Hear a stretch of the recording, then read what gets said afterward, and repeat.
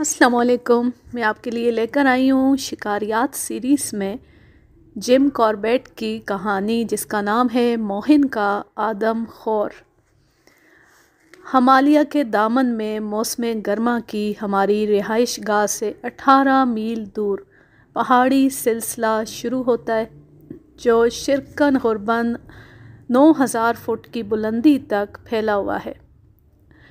इसके मशरकी सिरे पर ढलवाने घास से भरी हुई हैं। इस घास के बाद ये पहाड़ी सिलसिला तेज़ी से नीचे गिरता हुआ दरियाए कोसी तक जा पहुँचता है। एक दिन उस जगह के शुमाली तरफ़ आके गाँव से औरतें और लड़कियाँ घास काट रही थीं कि अचानक एक शेर नमूदार हुआ।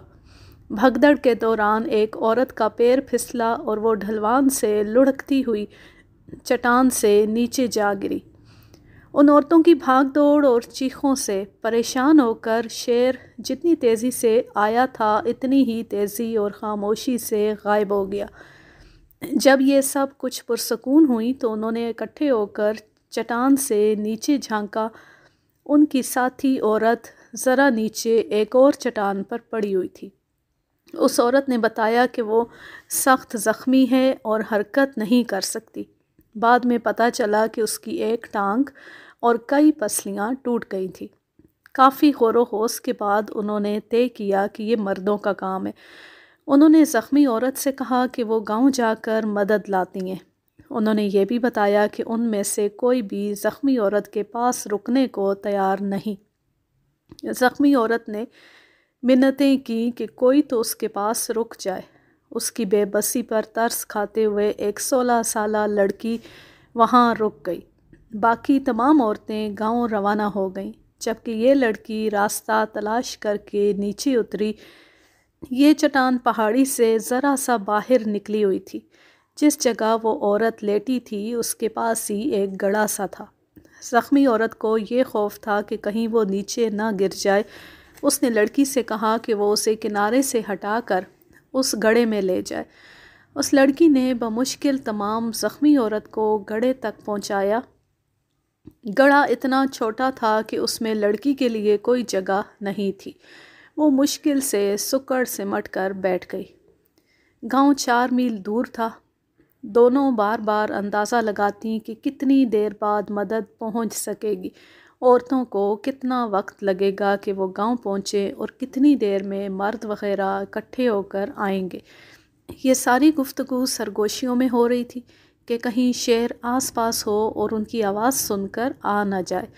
अचानक ज़ख्मी औरत ने लड़की को सख्ती से जकड़ लिया उस औरत के चेहरे पर दहशत के आसार देखकर लड़की ने अपने कंधे के ऊपर से देखा तो काँप कर रह गई।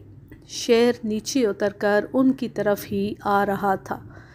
मेरा ख्याल है कि हम में से चंद एक ही इन खौफनाक, भयानक ख्वाबों से जागे होंगे जब दहशत के मारे ऐज़ा और हलक बेकार हो जाते हैं, भयानक बलाएँ पीछा कर रही होती हैं। खौफ हमारे मसामों से पसीने की शक्ल में बह रहा होता है।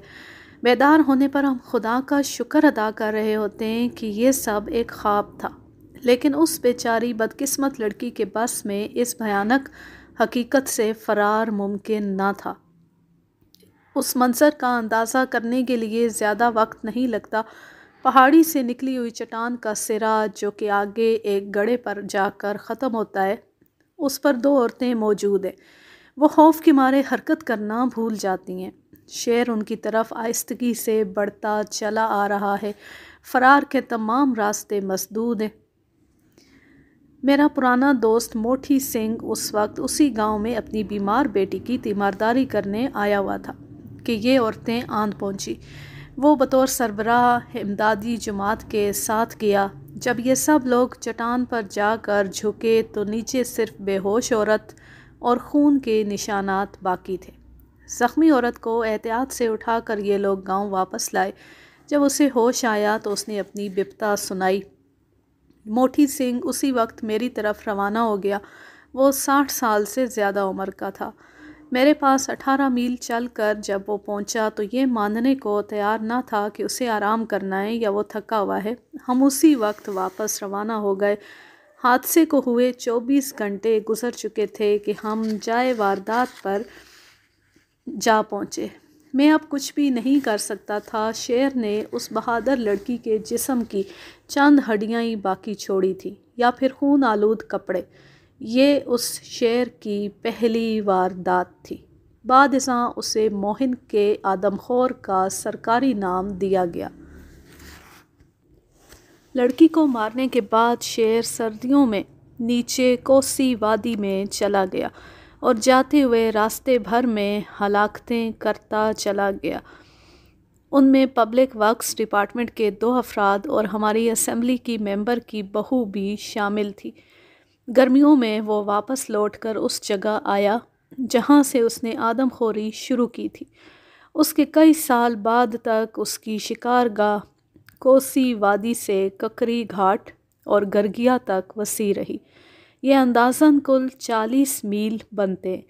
बाद ये मोहन के ऊपर की तरफ़ भी शिकार करने लगा। उस ज़िली कॉन्फ्रेंस में जो मैंने चौगढ़ के शेरों में बयान की थी, कमाऊँ के ज़िला में सरगरम आदमखोरों की ये तरजीही फ़हरिस्त बनाई गई। नंबर एक, चौगढ़ के शेर। नंबर दो, मोहन, ज़िला अल्मोड़ा। नंबर तीन, कुंडा, ज़िला घड़वाल। चौगढ़ के शहरों का ख़ात्मा करके जब मैं फ़ारिग हुआ तो बैंस ने मुझे याद दिलाया कि अभी इस फ़हरिस्त का एक हिस्सा पूरा हुआ है। मोहन का ये आदमखोर अगले नंबर पर अपनी बारी का मुंतज़र है। बैंस अल्मोड़ा के डिप्टी कमिश्नर थे। उन्होंने बताया कि शहर की सरगर्मियाँ रोज़ बरोज़ बढ़ रही हैं। गुजशत हफ़्ते उसने मज़ीद तीन इंसानी शिकार किए हैं, जो कि तिकनौला गाँव से थे। बैंस ने मशवरा दिया कि मैं इस गाँव से इब्तदा करूँ। मैं जब चौगढ़ के शेरों के पीछे था तो बैंस ने पेशावर कई शिकारी इस शेर के पीछे लगाए थे।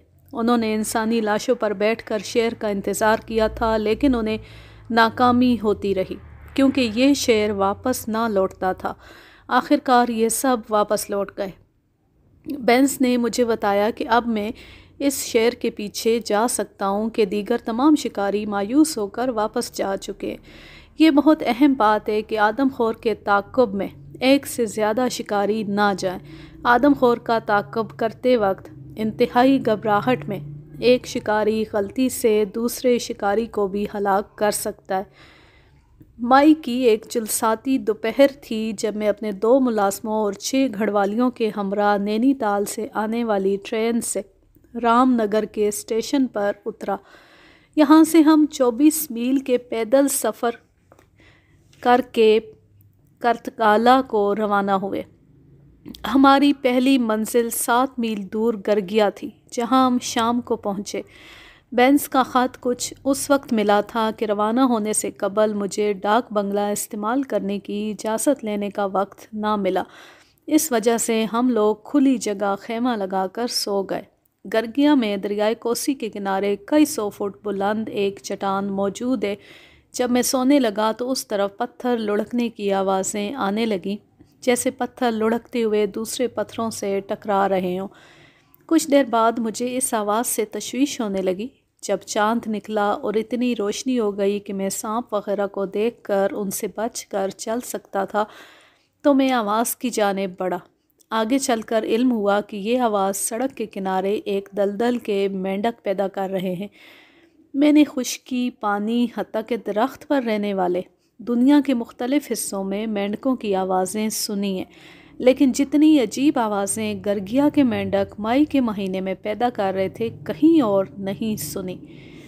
सुबह सवेरे जब हम मोहन रवाना हुए तो अभी दिन गर्म हो रहा था कि हम वहाँ पहुँच गए।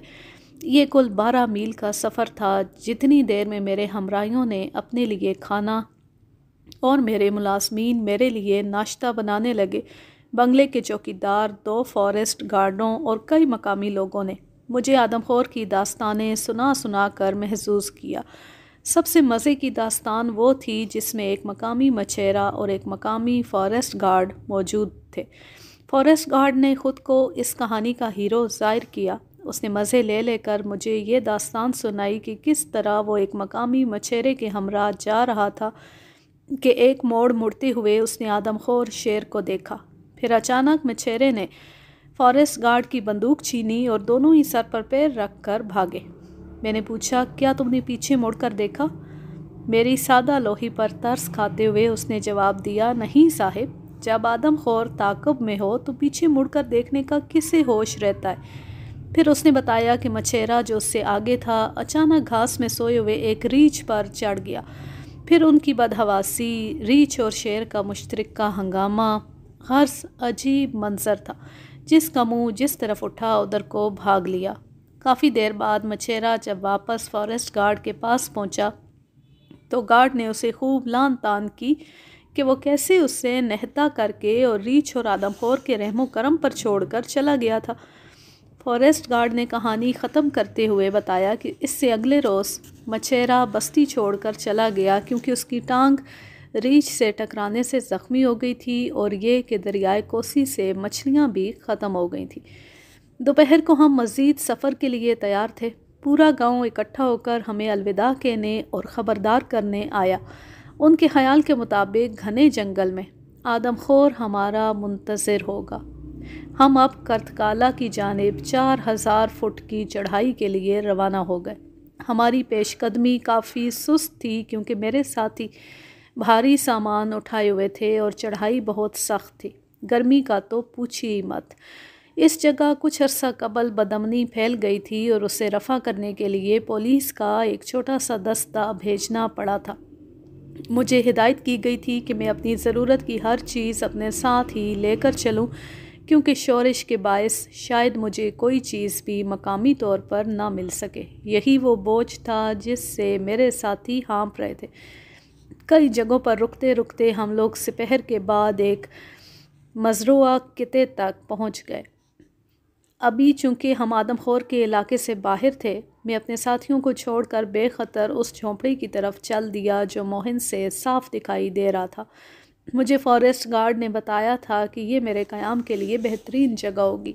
ये झोंपड़ा मोहन पर झुकी चट्टान पर बना हुआ था। मैं आम रास्ते से चलता हुआ उसके करीब पहुँचा। एक खड़ से बचते हुए जो ही मैं मुड़ा तो एक औरत दिखाई दी, जो चश्मे से घड़ा भर रही थी।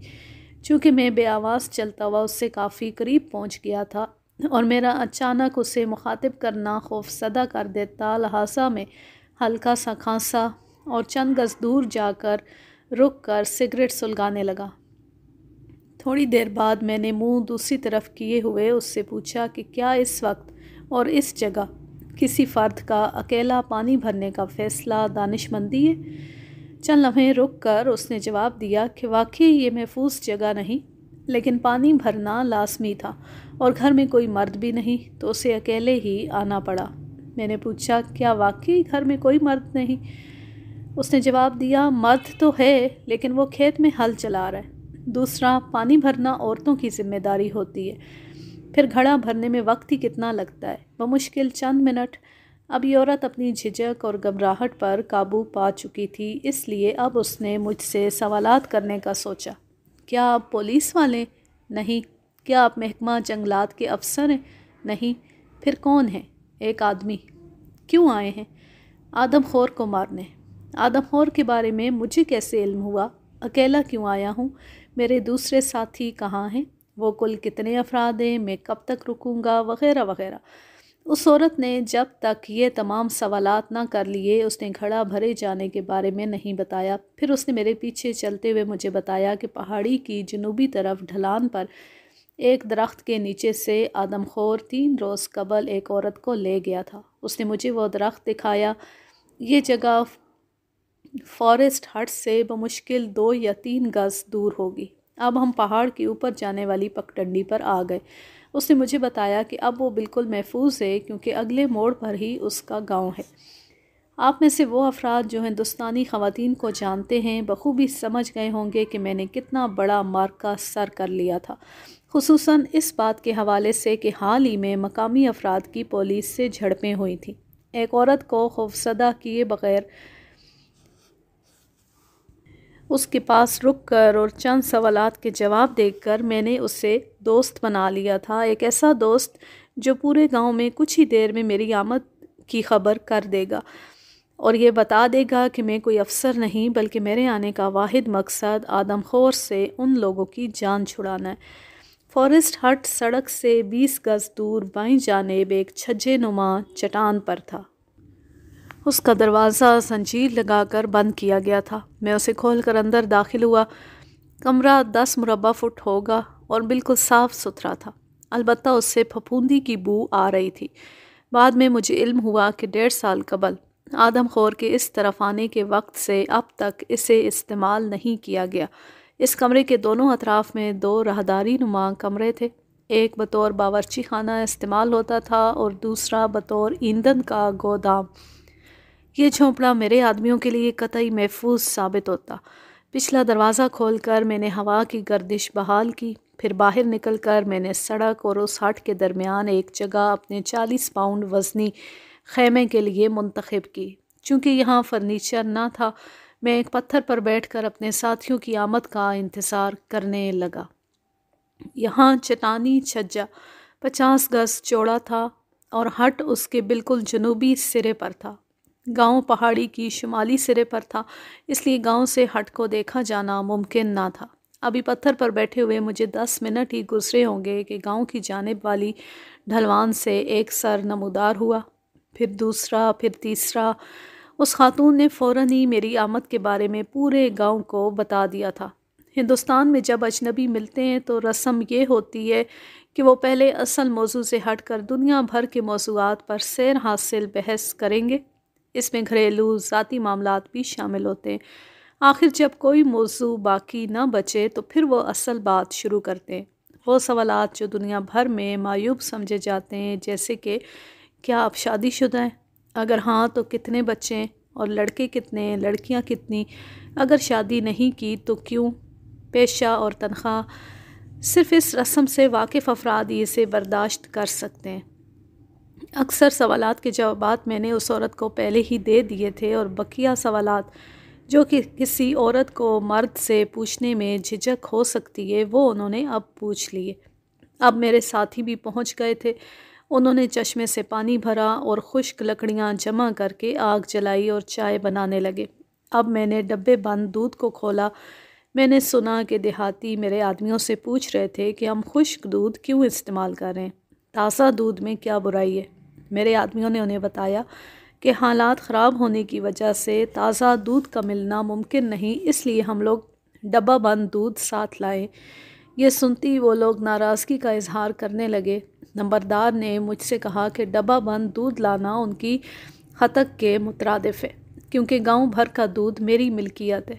मैंने अपनी गलती का एतराफ़ किया और कहा कि मैं चूँकि इस इलाके में अजनबी हूँ और पहली बार आया हूँ तो मुझे इल्म ना था। अगर वो लोग हमारी ज़रूरियात के लिए थोड़ा सा दूध अलग कर सकें तो मैं उसे ख़रीदूँगा। दूध के अलावा और कुछ भी दरकार नहीं।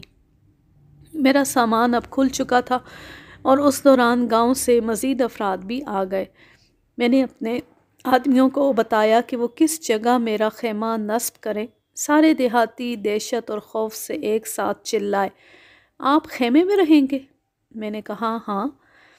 क्या मैं आदम आदम खोर की मौजूदगी को भुला चुका हूँ जो हर रात इस सड़क से बाकायदगी से गुज़रता है? अगर मुझे उनके अल्फाज पर यकीन नहीं तो मैं ख़ुद चलकर गाँव के घरों की दीवारें देख लूँ जो सड़क के किनारे बने हुए हैं। शेर अक्सर उन्हें खुरशता रहता है। अगर शेर ने खेमे के अंदर मुझ पर हमला ना भी किया तो वो मेरे आदमियों को लाजमी खा जाएगा, क्योंकि वो अकेले होंगे। इस बात से मेरे साथियों के कान खड़े हुए और उन्होंने भी गाँव वालों की हाँ में हाँ मिलाई। आखिरकार मैं कमरे में सोने पर तैयार हो गया। मेरे दोनों मुलाजमीन बावरची खाने और छः घड़वाली ईंधन वाले स्टोर रूम में सोए थे।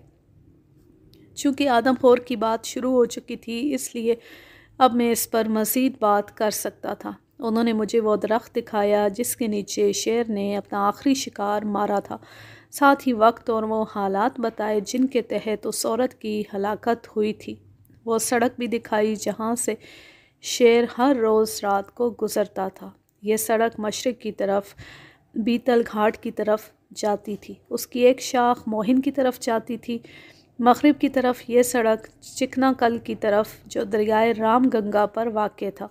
सड़क के मगरब वाले हिस्से का कुछ टुकड़ा गाँव से गुज़रता था और फिर निसफ मील मसरूआ ज़मीन से होता हुआ जनूब की तरफ़ मुड़ता था और पहाड़ के पास से होकर इस हट के साथ से गुज़रता था जहाँ हम अब बैठे हुए थे। इसके बाद ये सड़क सीधी चकनाकल जाती थी। कथ का नौला और चकनाकल के दरमियान छः मील का ये हिस्सा खसूस इंतहाई ख़तरनाक शुमार होता था और आदमखोर की आमद के बाद से इसे इस्तेमाल नहीं किया गया था। बाद में मैंने देखा कि मसरूआ ज़मीन से निकल कर ये सड़क घने जंगल से होकर गुज़रती है। ये जंगल दरिया तक फैला हुआ था। कतकानोला की मसरूआ ज़मीन पहाड़ी के शुमाली तरफ़ थी। इसके बाद कई जगहों पर छज्जे से बने हुए थे, लेकिन दरमियान में गहरी खाइयाँ भी थीं। उनमें सबसे नज़दीकी छज्जा हट से हज़ार गज़ दूर था और वहाँ सनोबर का एक दरख्त मौजूद था। दस दिन कबल उस दरख्त के पास से आदमखोर ने एक औरत को हलाक करके जुस्वी तौर पर खाया था। यहाँ से चार मील दूर फॉरेस्ट बंगले में तीन शिकारी मौजूद थे। जब वो स्नोबर के दरख्त पर ना चढ़ सके तो मकामी लोगों ने तीन अलग अलग दरख्तों पर उनकी मचाने बाँध दी। हर एक दरख्त से, हर एक दरख्त दूसरे से सौ गज़ और लाश से पचास गज़ दूर था। रात होने से कबल ये शिकारी अपने मुलाजमीन के हमरा मचानों पर जा बैठे। चाँद की शुरू की तारीखें थीं। चाँद के हरूब हो जाने के बाद देहातियों ने गोलियों की कई आवाज़ें सुनी।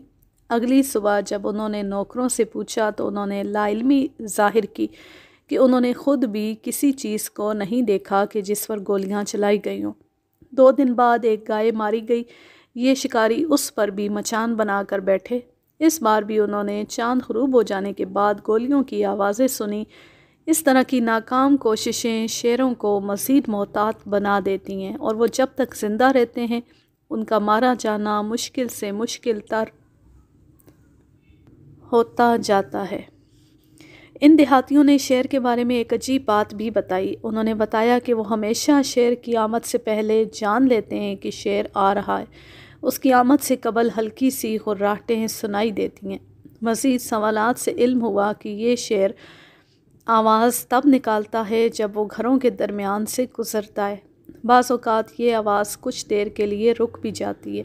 इससे मैंने ये नतीजा अखज़ किया कि नंबर एक शेर ज़ख्मी है, नंबर दो ज़ख़म इस नौीयत का है कि सिर्फ़ चलते वक्त तकलीफ़ देता है।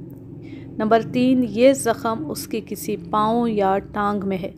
मुझे बताया गया कि शेर को किसी मकामी शिकारी ने ज़ख्मी नहीं किया और ना ही रानी खेत की किसी शिकारी ने। चूँकि आदम खोर कई साल से सरगर्म था, इसलिए यह अंदाज़ा था कि ये ज़ख़म ही उसकी आदम खोर बनने का सबब होगा। ये एक ऐसा नुक्ता था जिसकी तस्दीक तब ही हो पाती जब शेर मारा जाता। उन लोगों ने मुझसे पूछा कि मैं इस आवाज़ के बारे में इतना मुतजस क्यों हूँ?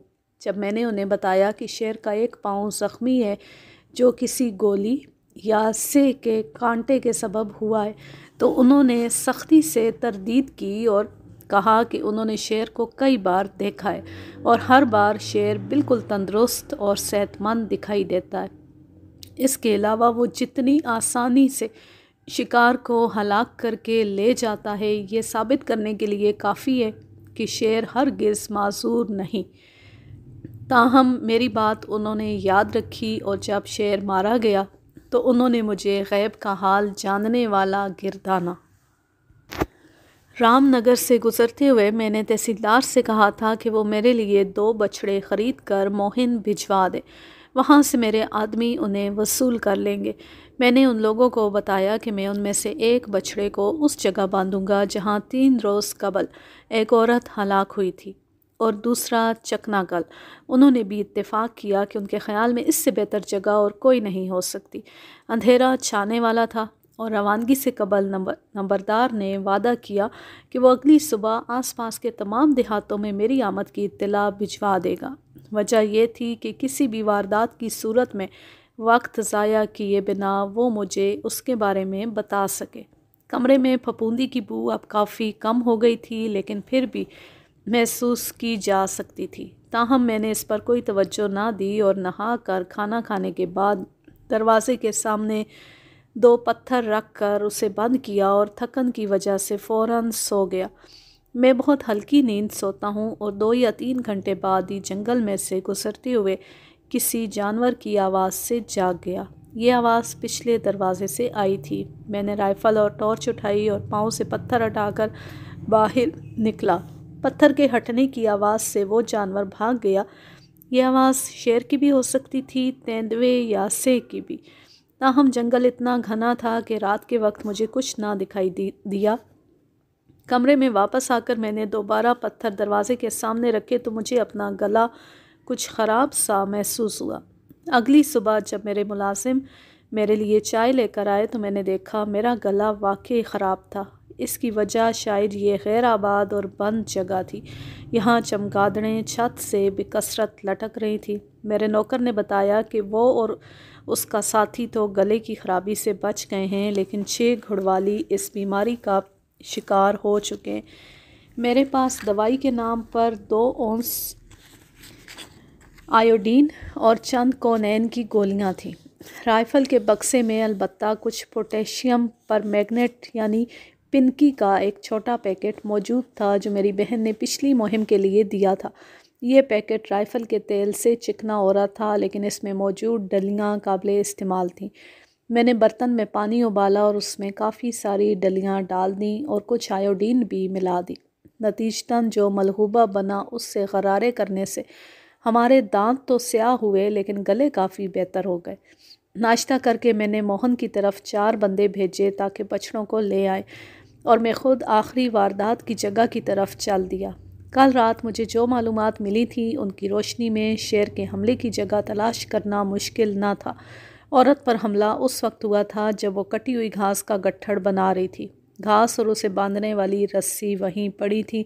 इसके अलावा उसकी दीगर हमराहियों की घास भी इधर ही मौजूद थी, जो शेर के हमले से घबरा कर गाँव की तरफ़ भागी थी।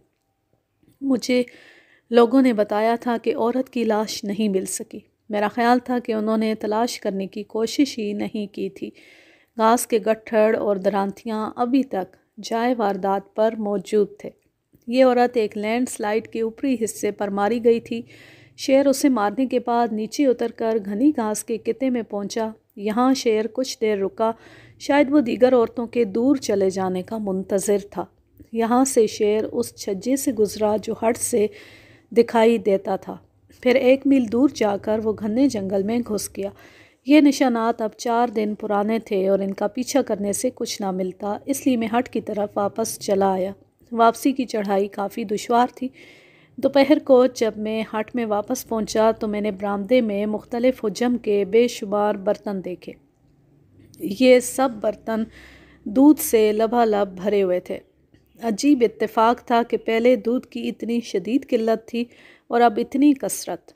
दूध इतनी मकदार में था कि मैं उससे बसानी नहा सकता था। मेरे मुलाजमीन ने बताया कि उनके एहतजाज के बावजूद हर शख्स दूध का बर्तन रखता चला गया और सबने यही कहा कि वो हमें डब्बे के दूध से बचाने के लिए ऐसा कर रहे हैं। जब तक हम इधर हैं, वो हमें डब्बे का दूध इस्तेमाल नहीं करने देंगे। मुझे इल्म था कि मेरे आदमी बछड़ों को लेकर मोहन से मगरब के बाद ही वापस लौटेंगे। दोपहर तो का खाना खाकर मैं चकना कल की सड़क को देखने चल दिया। आज के लिए बस इतना ही। अब मैं लेती हूँ आपसे इजाज़त। रहे खुश रहें, शादो आबाद रहें, हँसते मुस्कुराते रहें। अल्लाह हाफिज़। अल्लाह ने